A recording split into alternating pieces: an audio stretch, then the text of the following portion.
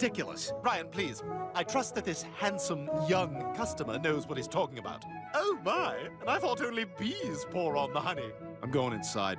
So, are you from around here? No, I'm just in town for the John Singer Sargent exhibit at the museum. really? I've been looking for an excuse to go again.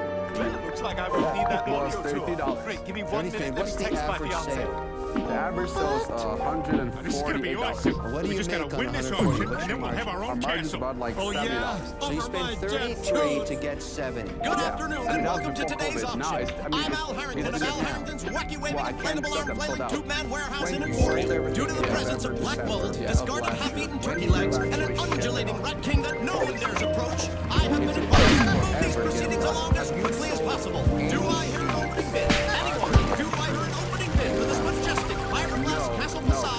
what was once a Midas muffler shop? Two Why? I can bits. Two bits. That's 25 cents in the Old. West. We have 25 touch on that cents. Do I hear higher than 25